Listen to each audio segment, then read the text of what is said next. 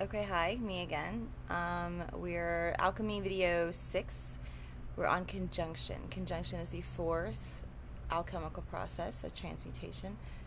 Um, conjunction is the iron chakra, it's the iron process.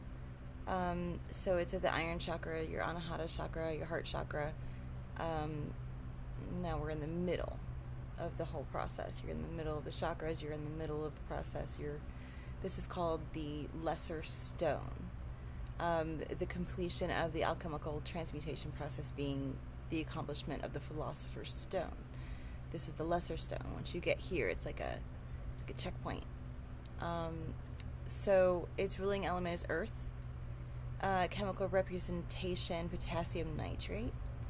Um, iron is Mars. Mars is action. Action is um, it's ruled by fire, and that um, you know Earth is is in the Tetragrammaton. Second hay is also a yod, so Earth is just a germ. It's like a it's like the clothing around the fire, or you know leads to the fire. It's a transition. Earth has always been a transition. Anyway, um, conjunction is that transitional stage of the process.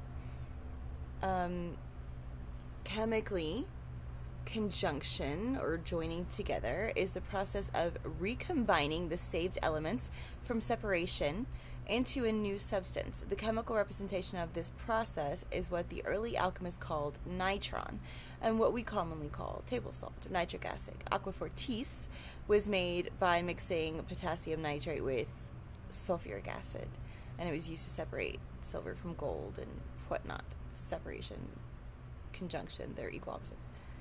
Uh, psychically, conjunction is the polarization of masculine and feminine energies, creating a new balanced state of consciousness. Conjunction is Tiferet on the Tree of Life, which is harmony um, and the achievement that comes with the potential for direct, nonlinear intuition. S- essentially, a superpowered gut instinct. Um, physiologically, conjunction takes place in the anahata or the iron chakra. This is where healing becomes evident. The heart chakra intakes light and outputs love. Psychologically, conjunction is the new beginning you make for yourself by completing the first three steps of the alchemical transmutation process. The common term for conjunction is the lesser stone. This title is a marker for completion of the first half of the process. The fourth step is a halfway point to the Philosopher's Stone, which is the allegorical term for completion of the process. The legendary gem, which gave the holder unlimited power and everlasting life. This was the gold from the lead, the higher being of man from the lowly matter encased Malkuth being. The lesser stone, once achieved, means that as long as you don't fall back into old habits or get pulled off course by worldly distractions, everything gets better. You have killed your selfishness and stopped feeding your ego. You have accepted the reality of this realm and your part in it. You have let go of the baggage that held you down. You reset your course with more beneficial goals. Now all you have to do is rebuild. You know that you know what doesn't work, and now it's time to find out what does. In the tarot, the alchemical symbol for this process is the hermaphrodite, a perfect union of masculine and feminine energies working together. This union is more than a connection of male and female. A connection is two energies in agreement. This is a unification, one being possessing the whole of possibilities endowed by a unified duality. This is the true meaning of the phrase when two become one. Two forces of nature, fire and water, male and female, light and dark, working together for long term success. This is the Christ or higher being in man, binding itself to, in marriage, which is a deliberate intention of unification to the church or seed, which is the lower matter encased spirit of man. Two do not become one by signing a bill of sale and having a ceremony. Two become one when masculine and feminine energies combine and resolve to work together in union for a better spiritual journey. Conjunction is super easy. Um, you know, step one, calcination, super fuck your life up. Step two, dissolution, feel some type of way about it. Step three, separation.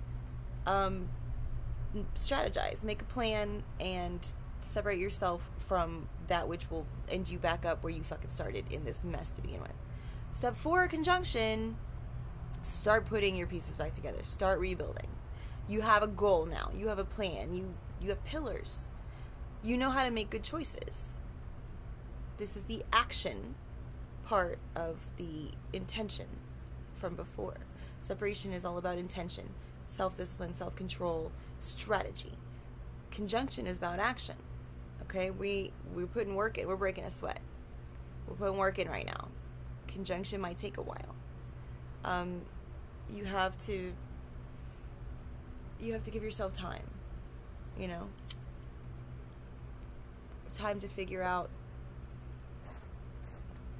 if adjustments if adjustments need to be made to the plan or if the plan needs to be reevaluated altogether. You know, if it's your first time rebuilding your life from scratch, you you might fuck up a, a year or two, you know?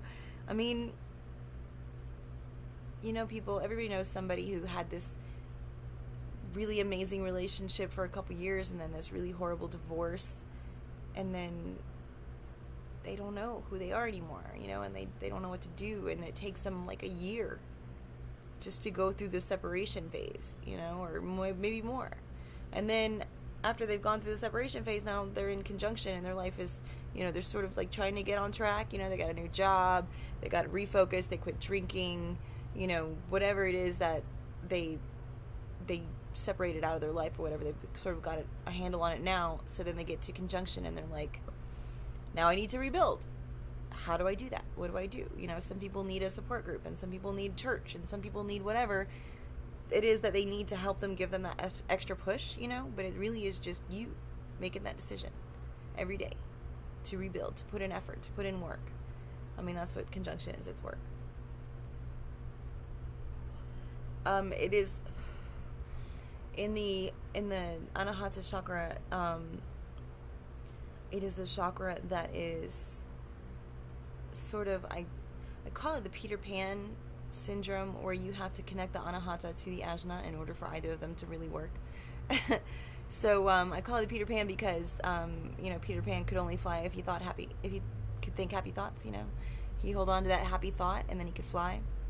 Same scenario. You know, if you want to heal yourself or others, your life, your situation, your body, whatever you want to heal, you have to do it thinking happy thoughts you know you have to obviously you have to focus on the healing process but it, it only works if you're optimistic about it. It only works if you believe it's going to work. It only works if you put constant effort into it. Um, and then you know you connect it with your ajna as in like you know you you see more than what's on the surface. You see beyond what's there. You see the potential of what it could be. And that's part of you know the anahata anything that anahata is is incorporated into is powerful and it requires much power from you. So, um, yeah, conjunction, it sounds like it's easy, you know, let's just start rebuilding and put in work, you know, general labor, let's do it. But it's not easy. Nothing in the alchemical transmutation process is easy. You know, even if you broke it down in chemistry and you were, you know, working with chemicals on a table in front of you and you were separated out all the shit and now you're trying to combine it and to make a new chemical that shit is not easy. Try it. It's it's not a whole lot of fun. It's sticky. It's goopy. It's sandy. The textures aren't always what you want them to be. The consistencies are never right the first time. It's like making gravy. You ever try to make gravy from scratch? Like flour and stuff? Like gravy is like the hardest shit to make. Um, it's the consistency, it's the, the texture of it. You need to be consistent and you need to be just hard enough and just soft enough and getting that balance which is what Tiferet and Anahata are all about getting that balance is hard and you're gonna not get it the first couple times.